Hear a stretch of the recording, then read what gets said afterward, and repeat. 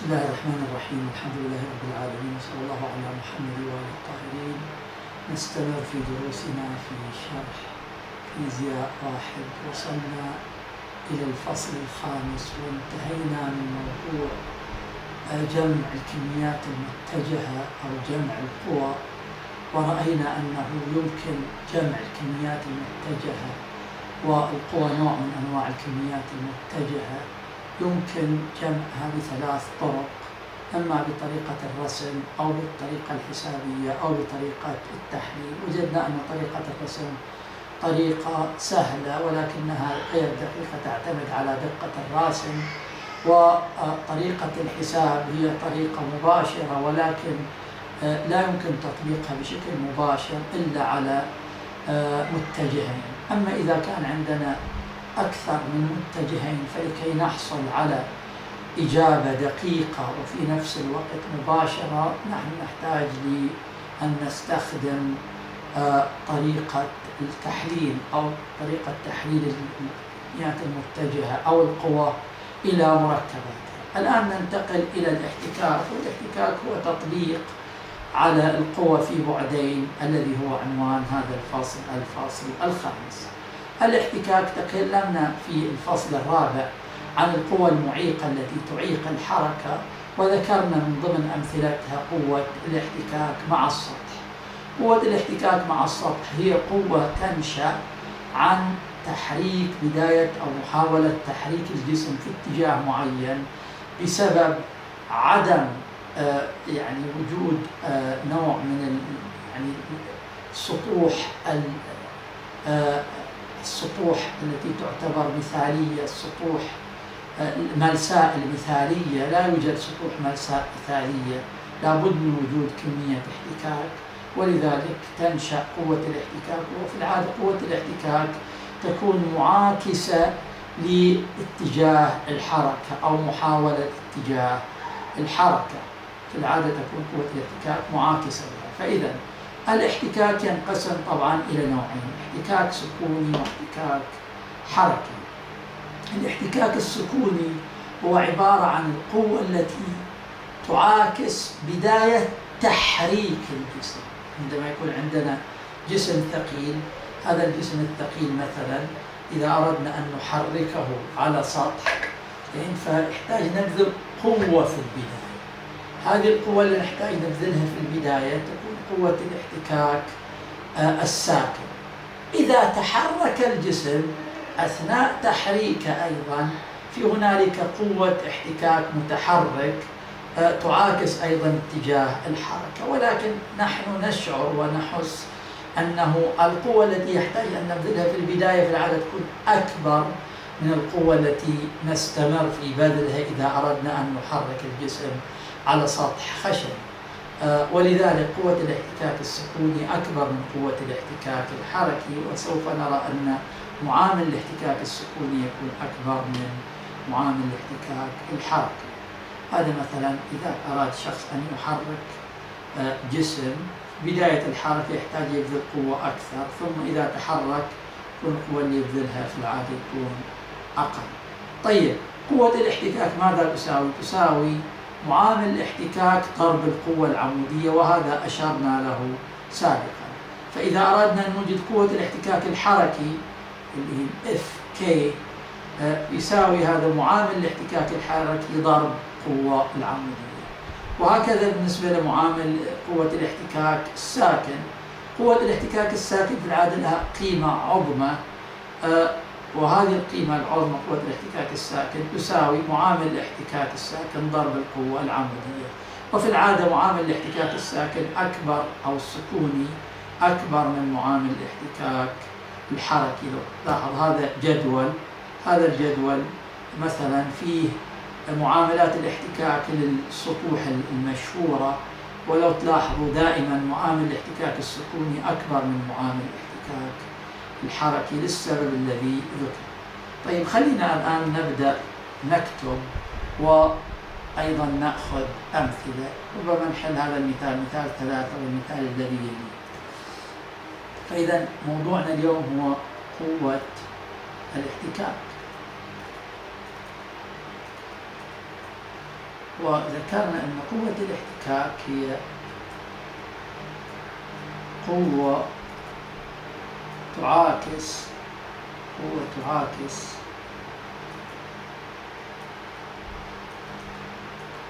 الحركة.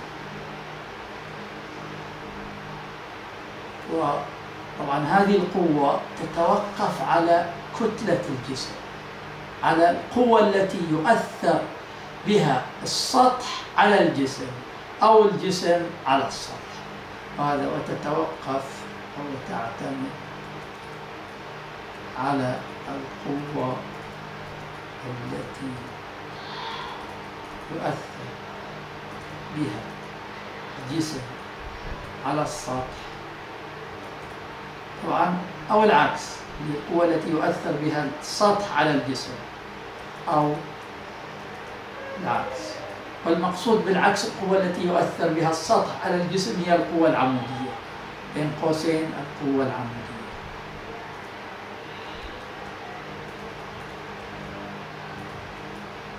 العمودية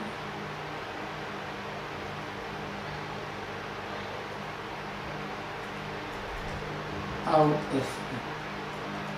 طيب هذا هذا واحد من العوامل. أيضا تعتمد على ماذا؟ وأيضا وأيضا وتعتمد على نوع السطح. يعني الاحتكاك مثلا على سطح خشن غير الاحتكاك على سطح أملس طبعا ما. الاحتكاك على سطح خشبي غير الاحتكاك على سطح مثلا من الإسمنت أو من الحديد. فكل سطح له معامل احتكاك. وطبعا تعتمد على نوع السطح. ونوع السطح يحدد بماذا؟ وهذا يحدد يحدد بمعامل الاحتكاك. ومعامل الاحتكاك يرمز له بالرمز نيو. نيو عبارة عن رمز لاتيني طيب ذكرنا أيضا أن قوة الاحتكاك تنقسم إلى قسمين. أنواع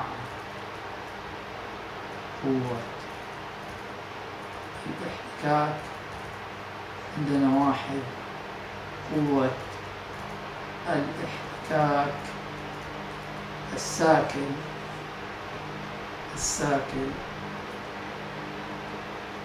وهذه يرمز لها بالرمز F S F S ماذا تساوي؟ ما هو القانون ماذا؟ F S تساوي معامل الاحتكاك السكوني ضرب القوة العمودية المؤثرة على الجسم.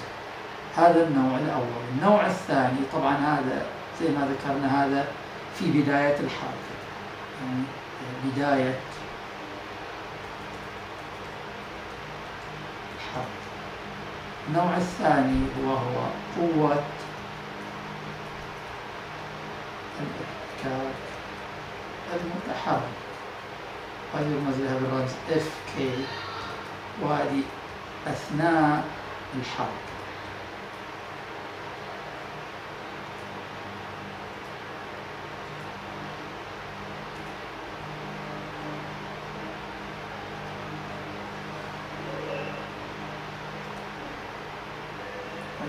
الحركة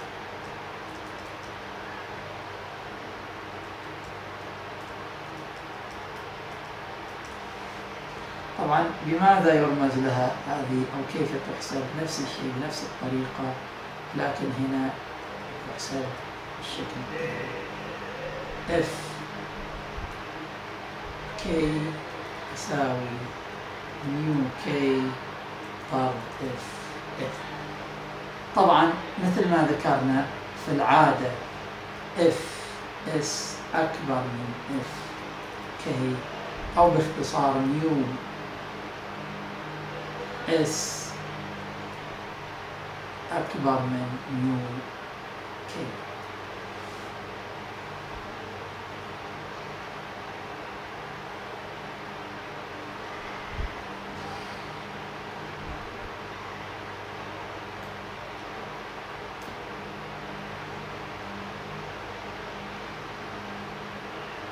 F S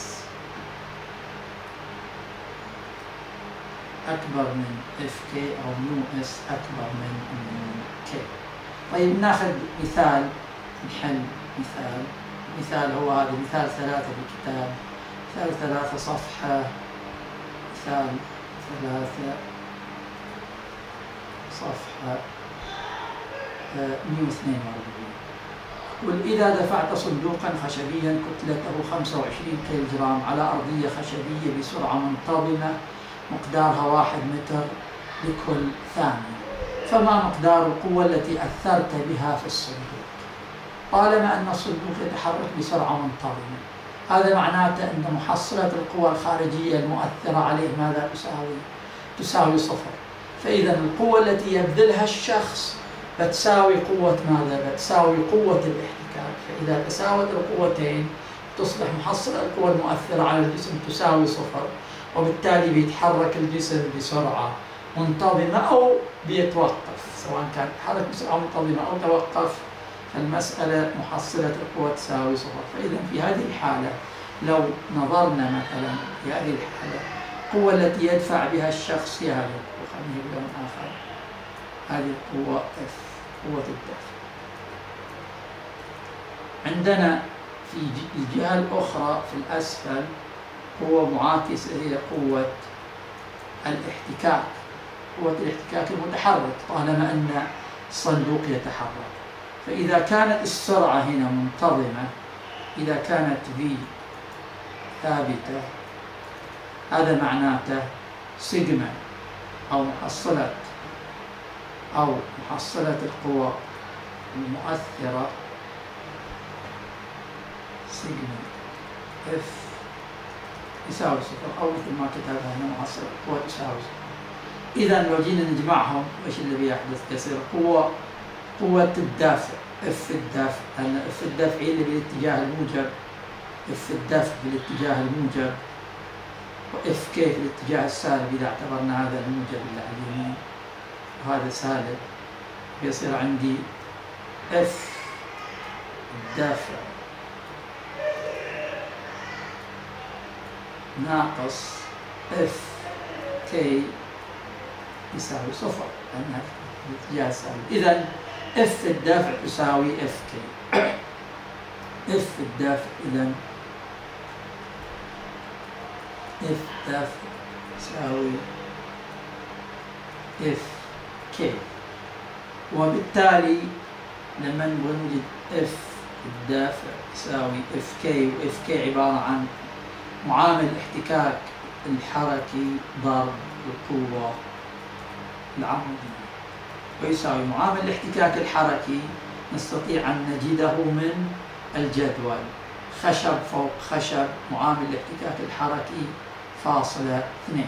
فإذا نساوي فاصلة اثنين ضرب. القوة العمودية وطالما أن الجسم يتحرك على سطح أفقي فالقوة التي يؤثر بها الجسم على السطح تساوي وزنه أو القوة اللي يدفع بها السطح الجسم تساوي وزن إذا ضرب الوزن. فضرب الوزن يعني ضرب. M ضرب G ويساوي نعوض point اثنين ضرب. كتلته كتلته مثل ما حددها 25 كيلو جرام ضرب 9.8 الجواب في الأخير يطلع 49 نيوتن وهو جواب بسيط أو مثال بسيط. أنا نأخذ المثال اللي بعده مثال أربعة. مثال أربعة في المثال السابق إذا تضاعفت القوة التي تؤثر في الصندوق الذي كتلته 25 فما هو تسارع الصندوق؟ في هذه الحالة إذا تضاعفت القوة المبذولة الصندوق لن يتحرك بسرعة منتظمة وإنما بيتحرك بماذا؟ بتسارع. فبالتالي إذا طبقنا قانون نيوتن الثاني يصبح بالشكل التالي سيجما F أو F المحصلة يساوي M ضرب A. طيب ما هي القوة المبذولة؟ القوة المبذولة هي آه اثنين F الدفع لأنها تضاعفت ناقص F K يساوي M A. طبعا F K F الدفع تساوي F K فاثنين F ناقص F K بيساوي يعني واحد F القوة اللي, اللي بذلناها. يعني في هالحالة هذه بيصير عندي واحد اف لأن هنا الصندوق بذلنا عليه لو فرضنا هذا الصندوق بذلنا عليه قوة دفع تساوي ضعف قوة الدفع الأولية. يعني بصير 2 ضرب 49 ناقص 49 بيصير 49 فإذا المحصلة مال القوتين بتصير تساوي 49 فإذا التسارع A يساوي محصلة القوة اللي 49 على على الكتلة اللي هي 25 فإذا الجواب بيصير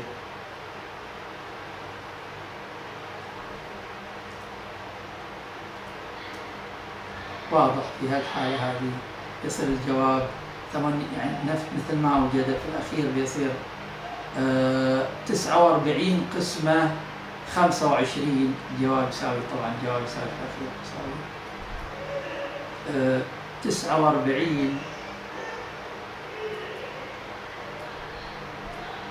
قسمة 25 فالجواب تقريبا يساوي تقريبا يساوي 2 متر لكل ثانية تربية طيب هذا بالنسبة إلى المثال هذا. نأخذ مثال آخر آه أيضا مثال آه أو سؤال 19 صفحة صفحة 144 قلت تنزلت قطعة خشبية كتلتها 1.4 كيلو جرام على سطح خشب فتتباطأ بتسارع مقداره وأعطانا التسارع. ما معامل الاحتكاك الحركي بين القطعة الخشبية والسطح فإحنا في هذه الحالة آه، جزء آه، عندنا هذا السطح هاي القطعة الخشبية هذه بدأت تتباطأ. يعني لا توجد عليها قوة خارجية تدفعها إنما القوة الخارجية هي فقط ما يعني عندها تت... يعني بكلمة أخرى حتى نكون دقيقين. عندنا قوة الاحتكاك. قوة الاحتكاك. قوة الاحتكاك تؤثر في هذه الجهة. F K. وقوة الاحتكاك تؤدي إلى تسارع بيكون بالسالب طبعا التسارع بيكون في الاتجاه المعاكس يعني السرعة في هذه الجهة حركة في هذه الجهة. ولكن التسارع في الاتجاه المعاكس لأنه يكون بالسالب لأنه تباطؤ. ففي هذه الحالة حتى نوجد معامل الاحتكاك بيصير عندي المسألة بالشكل التالي. بتكون عندي F K يساوي ميو ضرب F N وهذا يساوي أيضا كتلة الجسم ضرب تسارع يساوي كتلة الجسم ضرب تسارع طيب إذا نقدر نقول يعني لو أخذنا فقط هذا الجزء يصير عندي. آه، المطلوب إيجاد ماذا لو تلاحظ المطلوب إيجاد ما معامل الاحتكاك. مطلوب إيجاد ميو إذا ميو تساوي M آه، A مقسومة على F N وتساوي M A ال M عبارة عن واحد فاصلة أربعة. ضرب ال A اللي هو مقدار التباطؤ. طبعا زي ما ذكرنا اثنين في نفس الجهة فبالتالي بعد خلاص بصير إشارتهم كأنما هي واحدة. واحد فاصلة أربعة ضرب مقدار التباطؤ اللي هي واحد فاصلة اثنين آه، واحد وخمسة وعشرين. يو يساوي واحد فاصلة أربعة ضرب واحد خمسة وعشرين. قسمة اف ان اللي هي قوة عبارة عن وزن الجسم فتساوي كتلته واحد فاصلة أربعة ضرب تسعة فاصلة ثمانية. فالجواب في الأخير بيصير لما نجي نوجده الآلة الحاسبة. يصير آه واحد فاصلة أربعة ضرب واحد فاصلة اثنين خمسة قسمة نفتح هنا قوس حتى يصير القسمة عليهم مع بعض. قسمة واحد فاصلة أربعة ضرب تسعة فاصلة ثمانية مسكر قوس. الجواب يساوي الجواب يصير فاصلة 12 آه، فمعامل الاحتكاك عبارة عن فاصلة 12 إذا معامل الاحتكاك في هذه الحالة يساوي معامل الاحتكاك يساوي آه، فاصلة. الجواب يساوي يساوي فاصلة. طبعا معامل الاحتكاك واضح أنه ليس له أي آه، وحدة قياس لأن عبارة عن قوة مقسوم على قوة فلا يوجد له آه، وحدة قياس. طبعا سؤال عشرين خلينا نعتبره واجب وهو يعني مشابه للمثال اللي حليناه الآن. الآن ننتقل إلى قوة والحركة في بعدين. ننتقل إلى القوة والحركة في بعدين. بندرس فيها الاتزان ثم بندرس الجسم المنزلق من على سطح آه، من على سطح آه، ماء. فلو بدأنا في البداية بالاتزان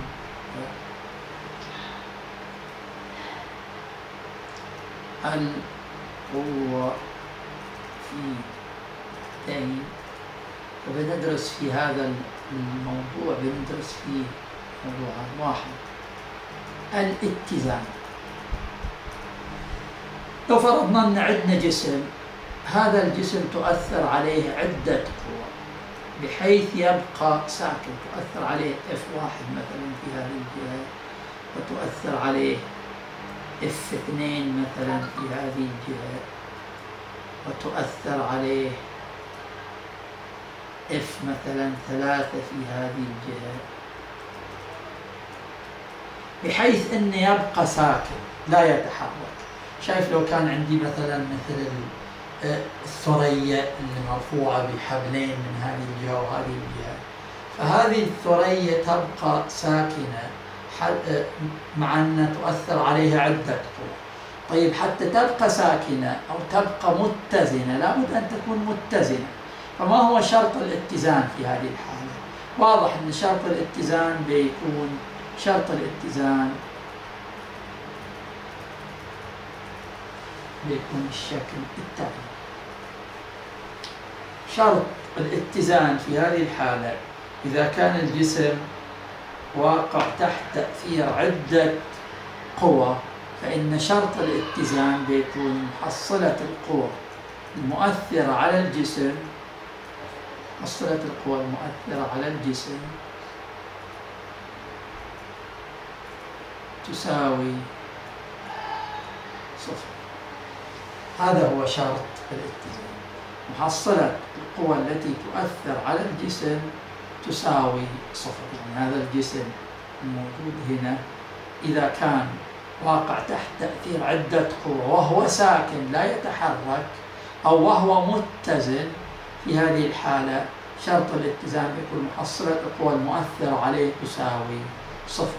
طبعا هذا الشرط الأول من شروط الاتزان وهذا الشرط يمنع انتقال الجسم من نقطة أو إلى نقطة. أيضا عندنا شرط يمنع دوران الجسم. يعني مثلا هذا هذا القلم قد يكون ساكن ولكنه يمكن يكون قابل للدوران. يدور طيب. ما هو الشرط الثاني الذي يمنع دوران الجسم أو يجعل الجسم متزن بالنسبة إلى الدوران؟ هذا الشرط إن شاء الله يدرس في فيزياء اثنين وهو عبارة عن محصلة العزم المؤثر على الجسم يساوي صفر. فإذا حتى يكون الجسم متزن اتزان ساكن تماما لابد أن تكون محصلة القوى المؤثرة عليه تساوي صفر. والشرط الثاني وهذا ما بندرسه الآن وإنما بيدرس في الفيزياء الثاني محصلة العزم المؤثر على الجسم يساوي صفر. إذا عندنا شرطين. الشرط الأول محصلة القوى يساوي صفر الشرط الثاني محصلة العزم يساوي صفر وهذا الشرط الثاني ما بنتعرض له الآن. فهذا بالنسبة إلى الاتزان. الآن ننتقل إلى إلى حركة الجسم المنزلق من على سطح ماء الجسم المنزلق على سطح ماء وهذا واقعا موضوع له تطبيقات كثيرة ولذلك وأيضا له يعني سوف نطبق فيه آه، مسألة تحليل القوى. فهو مثال وموضوع جيد على تطبيق تحليل القوى أيضا. فالجسم المنزلق على سطح ماء نبدأ في البداية إذا كان السطح إذا كان السطح آه، أمس واحد. السطح أمس. فلنفرض أن عندنا هذا سطح ماء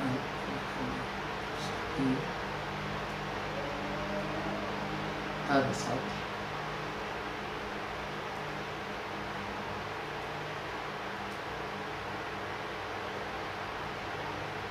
هذا سطح مائل يميل عن الأفقي مثلا بزاوية مقدارها ثيتا لو فرضنا أن في جسم على هذا السطح فرضنا عندنا جسم بالشكل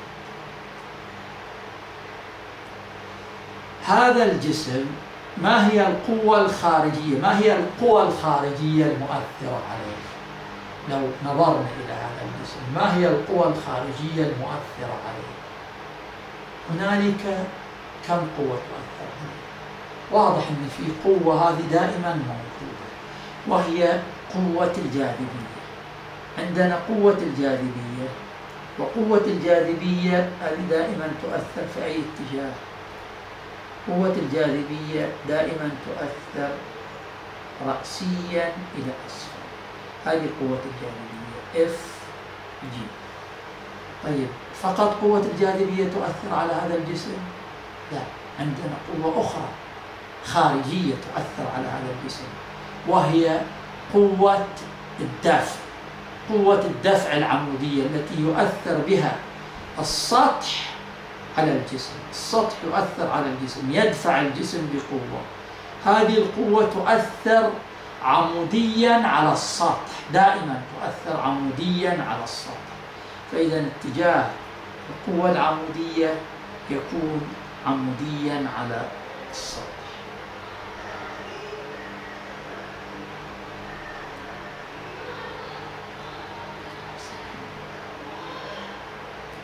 اتجاه القوة العمودية. عموديا السطح وهذه تسمى سميناها إف.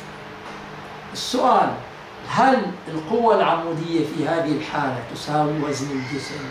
أو بكلمة أخرى هل الجسم يضغط على السطح بقوة تساوي وزنه في هذه الحالة إذا كان السطح مائل؟ منطقيا لا. القوة التي يؤثر بها الجسم على السطح بتكون أقل من وزنه. لماذا؟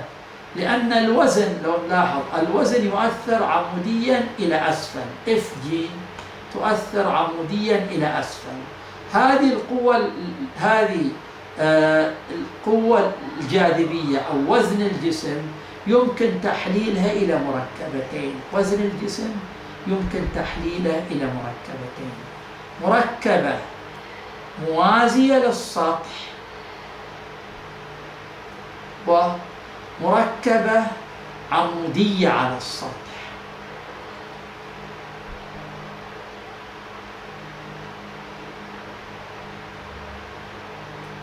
ومركبة عمودية على السطح. المركبة الموازية للسطح نقدر نسميها مثلا F المحركة أو اختصارا Fx وهي المسؤولة عن انزلاق الجسم هي التي تؤدي إلى تحريك الجسم وانزلاقه على السطح طيب القوة الثانية أو المركبة الثانية هذه نسميها Fy وهذه هي القوة التي يضغط بها الجسم على السطح أو القوة التي تؤدي إلى التصاق الجسم بالسطح يعني لماذا لا يطير الجسم؟ لأن في قوة تضغط على الجسم على السطح تؤدي إلى التصاق الجسم بالسطح وهي F Y هذه F Y تساوي ماذا؟ تساوي القوة لأن هي القوة التي يضغط بها الجسم على السطح وهي حسب قانون نيوتن الثالث تساوي القوة التي يدفع بها السطح الجسم أو القوة العمودية. فالقوة العمودية تساوي F Y الآن خلينا نجي نشوف F X و F Y ماذا تساوي بالنسبة إلى F G طبعا F G إحنا نعرف تساوي ماذا؟ تساوي وزن الجسم أي يساوي القوة الكتلة ضرب تسارع الجاذبية. طيب الآن حتى نعرف F X ماذا تساوي بالنسبة إلى F G لابد أن نحدد الزاوية. لاحظ معي هذه الزاوية ثيتا. الزاوية ثيتا لو نلاحظ لو لاحظنا هذه الزاوية ثيتا بالنسبة إلى هذه القوة. طبعا الآن لو جينا ونقلنا F Y نقلتها إلى هذه الجهة خلينا F Y في هالمكان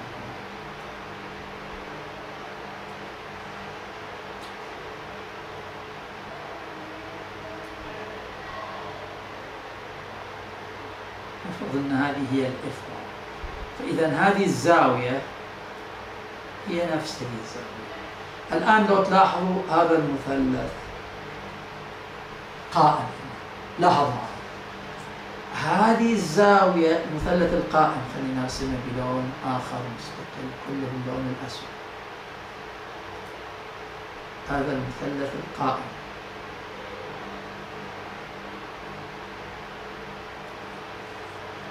هذا المثلث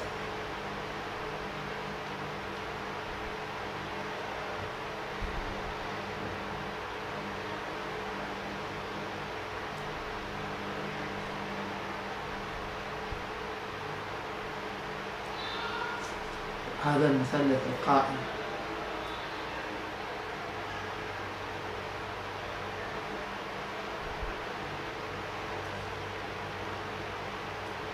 هذا المثلث القائم. الزاوية قائم الزاوية في هذه الزاوية طيب إذا إذا كان هذا مثلث قائم الزاوية فإن مجموع الزاوية ثيتا زائد هذه الزاوية زائد هذه الزاوية لو اعتبرناها في هذا بيساوي ماذا؟ يساوي 180 درجة. طيب لاحظ معي عندنا مثلث قائم الزاوية أيضا هنا. فإذا هذه الزاوية 90 زائد هذه الزاوية زائد هذه الزاوية يساوي أيضا 180 فإذا بالضرورة بالضرورة هذه الزاوية تساوي ثيتا لأن لاحظ معي ثيتا زائد 90 زائد في يساوي 180 وفي زائد هذه الزاوية زائد 90 يساوي 180 فإذا هذه الزاوية تساوي ثيتا. إذا هذه الزاوية تساوي نفس هذه الزاوية زاوية ميل السطح. إذا نقدر نقول هي نفس هذه الزاوية طيب. إذا هذه الزاوية ثيتا F Y بالنسبة إلى الزاوية ثيتا يمثل أيضا يمثل المجاور اللي رمزنا له بالرمز A. و F X بالنسبة إلى هذه الزاوية F X هو هذا. F X هو هذا. F X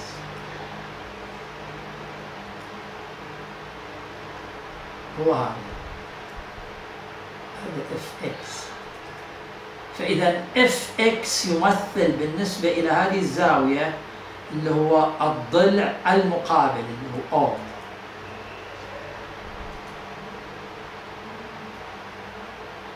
إذا الاف إكس هو الأو والاف واي هو الاي طيب كيف نوجد المقابل وكيف نوجد المجاور؟ هذا درسناه في الحصة أو في الدرس الماضي. فقلنا المقابل وهو F X يساوي الوتر ضرب sine الزاوية الوتر هو ماذا؟ هو ال F G ضرب sine الزاوية وهذا يساوي M G ضرب sine إن هذه تساوي القوة المحركة يعني هي القوة التي تؤدي إلى تحريك الجسم. وبالتالي طالما أن هي فقط القوة المحركة الوحيدة الموجودة هذا بيساوي ماذا؟ كتلة الجسم. لو اعتبرنا أن كتلة الجسم m ضرب تسارع الجسم. إذا لو تلاحظ g ضرب sine theta يساوي m ضرب A. g sine theta يساوي m ضرب a إذا ال m بتروح من الطرفين لو قسمنا على ال m في الطرفين بتروح. اذا التسارع ماذا يساوي؟ أقدر أكتب قانون التسارع في حالة تسارع A يساوي تسارع الجاذبية ضرب sine زاوية ميل السطح. هذه إذا كان السطح ماذا؟ إذا كان السطح أملس. إذا كان السطح أملس. فإن تسارع الجسم يساوي تسارع الجاذبية ضرب sine الزاوية ثيتا طيب هل هذا التسارع صحيح؟ المفروض أن نعم صحيح كيف نثبت أن هذا صحيح؟ لو أخذنا زاوية الميل التي تكون صفر يعني السطح أفقي هل نتوقع أن الجسم بينزلق إذا السطح أفقي؟ يعني خلينا نأخذ هذا التسارع في حالة خاصة إذا كان ثيتا تساوي صفر. هذا سطح أفقي. السطح الأفقي A ماذا يساوي؟ يساوي g ضرب sine صفر. و sine صفر أو جا صفر ماذا يساوي؟ يساوي صفر. وبالتالي هذا بيساوي صفر. نعم يعني هنا ما بيكون أي تسارع إذا كان السطح أفق طيب ناخذ حالة ثانية. وهي أنه في حالة السقوط الحر يعني جسم سقط مباشرة أو إذا كان السطح عمودي تماما إذا كان السطح عمودي فالجسم بينزلق مباشرة بيسقط عموديا. إذا في الحالة الثانية ثيتا تساوي الحالة الثانية ثيتا تساوي تسعين. فهنا A تساوي g ضرب sine تسعين. و sine تسعين يساوي واحد. إذا الجواب بيصير جي نعم. وهذا هو تسارع الجسم الساقط سقوطا حرا عموديا. واضح. فإذا القانون صحيح. يمكن التحقق من صحته. طيب هذا بالنسبة إلى السطح. السطح ماذا؟ السطح الأملس. الآن ننتقل إلى السطح الخشن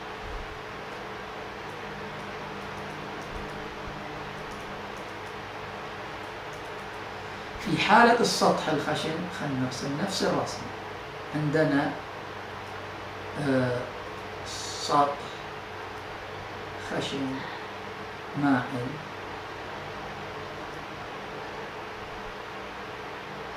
ولنفرض أن زاوية الميلان هي ثيتا في لو فرضنا أن الجسم موضوع بالشكل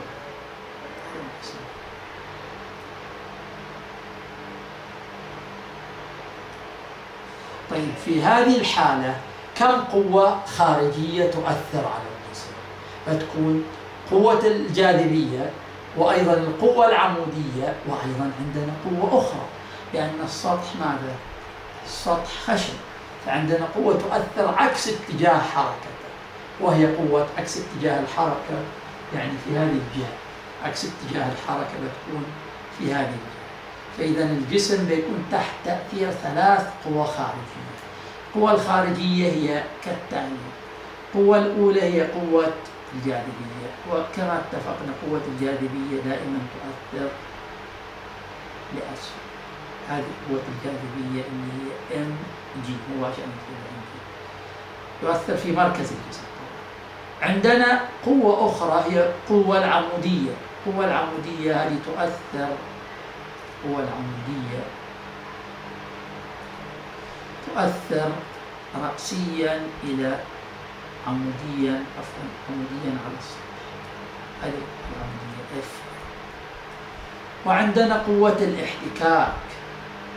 قوة الاحتكاك تؤثر عكس اتجاه عكس اتجاه الحركة.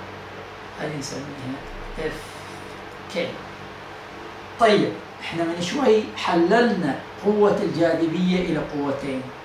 قوة إلى قوتين. قوة موازية للسطح. قلنا هي التي تؤدي إلى تحريك الجسم. سميناها F x وقلنا هذه تساوي ماذا؟ تساوي mg ضرب sine طيب عندنا قوة عمودية أيضا أخرى على السطح أو قوة هي مركبة لقوة الجاذبية سميناها Fy وهذه Fy Fy هذه تكون اتجاه معاكس للقوة العمودية.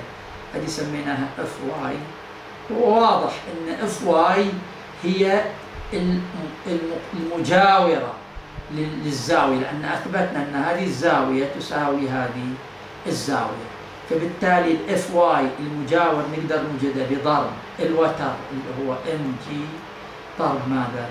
ضرب cosine إذا عندنا Fx mg ضرب sine theta وعندنا Fy وهي mg ضرب cosine theta وهي تساوي ال Fy تساوي هذه تساوي Fy تساوي N FN تساوي ال Fy اذا الآن اتضحت المسألة. لو أردنا نطبق قانون نيوتن الثاني. في هذه الحالة قانون نيوتن الثاني بيكتب بالشكل التالي.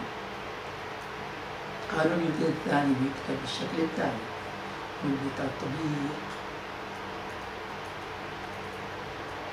قانون نيوتن الثاني. سيجما. إف. طبعا باتجاه الحركة. قانون الثاني في العادة إذا كان عندنا تسارع فنأخذ القوى اللي تكون باتجاه التسارع يعني باتجاه الحركة بتكون على المحور x. يساوي m ضرب a. طيب القوى المؤثرة على المحور x هي ماذا؟ لو اعتبرنا هذه الجهة هي الجهة الموجبة وهذه الجهة هي الجهة السالبة بيكون عندنا Fx بتكون بالاتجاه الموجب و Fk بتكون بالاتجاه السالب.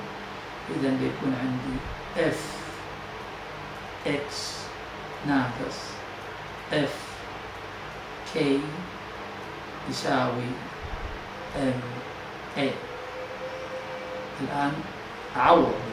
ال Fx قلنا تساوي mg ضرب sine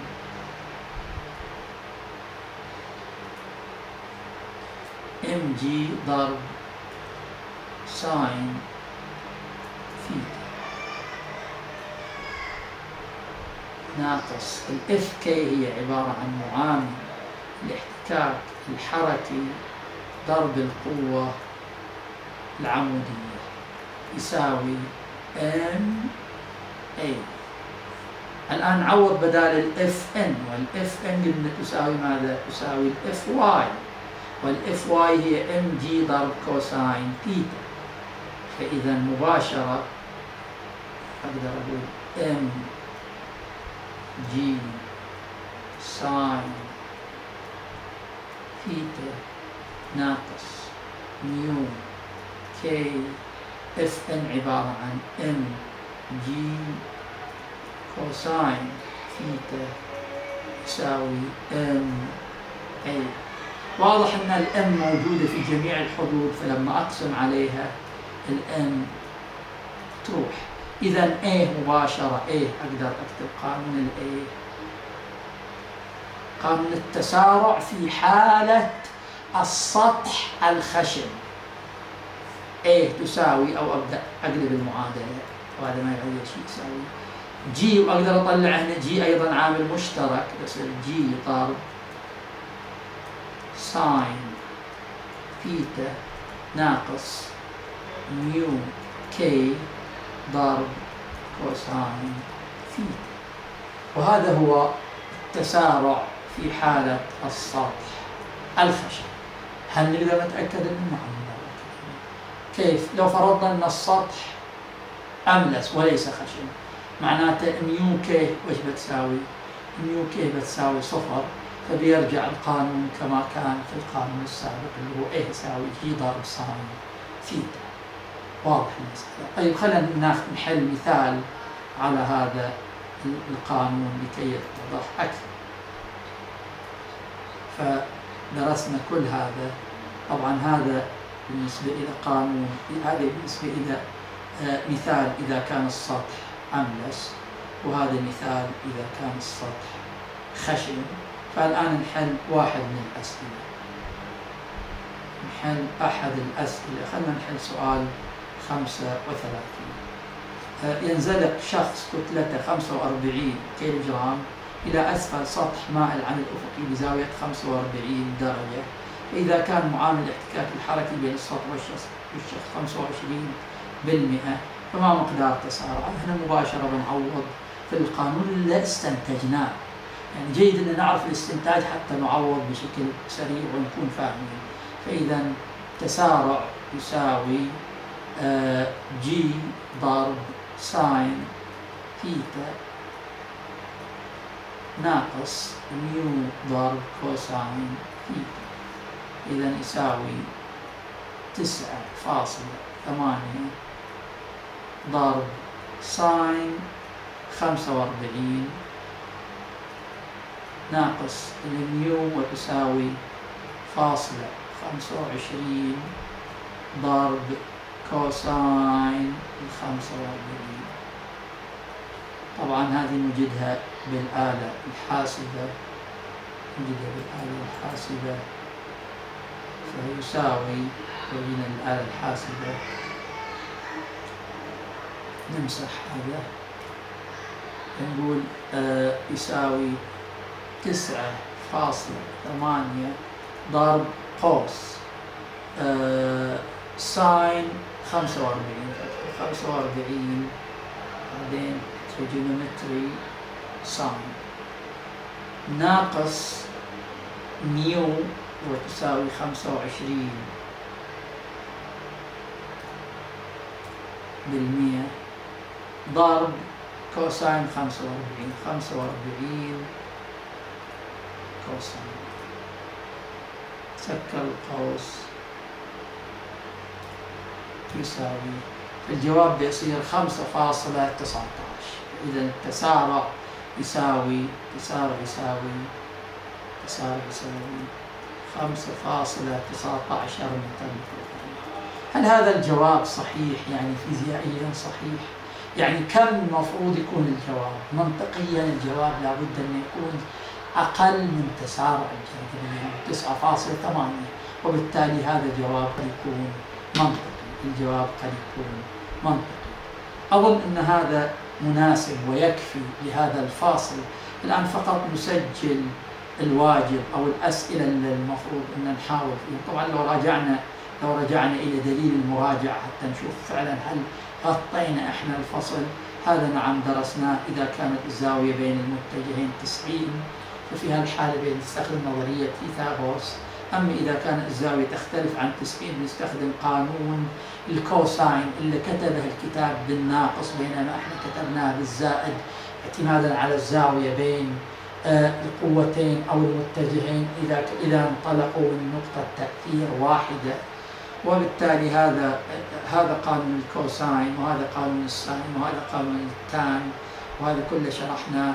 وهذه قانون آه، قوة الاحتكاك سواء كان المتحرك أو الساكن. وطبقنا هذا على الجسم المنزلق من على سطح مائل سواء كان السطح آه، أملس أو كان خشن. الأسئلة أسئلة الواجب نقدر لو أخذنا سؤال 56 وهو أيضا تطبيق هذا مباشر يعني هذا لو جينا رسم متجه عبارة عن إيجاد محصلة متجهين بطريقة الرسم. هذا سؤال 56 وسؤال 62 وهذه التطبيق طريقة طريقة التحليل بالطريقة اللي حلينا بها المثال. سؤال 62 سؤال 64 وهي عبارة عن آه، أفقي تكسبه التسارع كم تبلغ قوة الاحتكاك؟ وهذا مثال على قوة الاحتكاك. وأخيرا مثال على آه، الجسم الذي ينزلق من على سطح آه، مائل. طبعا هذا هنا بيكون عندي جسمين وليس جسم واحد. هنا بيكون عندي جسمين وليس جسم واحد. إذا نطبق قانون نيوتن على هذا الجسم ثم نطبق على الجسم الثاني بالطريقة اللي طبقناها على الجسمين اللي يتحركان على بكرة يتسارعان على بكرة. ولكن هنا الجسمين ليسوا عموديين يعني مو ما جسم يصعد لأعلى وجسم يصعد لأسفل إنما جسم ينزلق وجسم ينزل لأسفل. فنطبق قانون نيوتن الثاني على هذا الجسم سيجما اف تساوي m واحد في A وهنا sigma F تساوي m اثنين ضرب A لأن نفس التسارع فقط التسارع انه بيكون واحد منهم لأعلى وواحد لأسفل يعتمد على الجسم الأكبر، واضح إن هذا الجسم الأكبر هو النازل لأسفل فالتسارع انه بيصير في ذي الجهة التسارع انه بيصير في هذه الجهة. فهي عبارة عن آه، تطبيق يعني كأنما السؤال هذا سؤال آه، سؤال عفوا 66 سؤال 66 جمع الفكرتين فكرة الجسم المنزلق من على سطح مائل والجسم المربوط على بكرة. يعني باختصار نقدر نقول أن الأسئلة أسئلة الواجب هي كالتالي سؤال 20 بعد حليناه سؤال 35 و56 و62 و64 و66 هذه أسئلة مناسبة للتحقق من الفهم واعتبارها كواجب. والحمد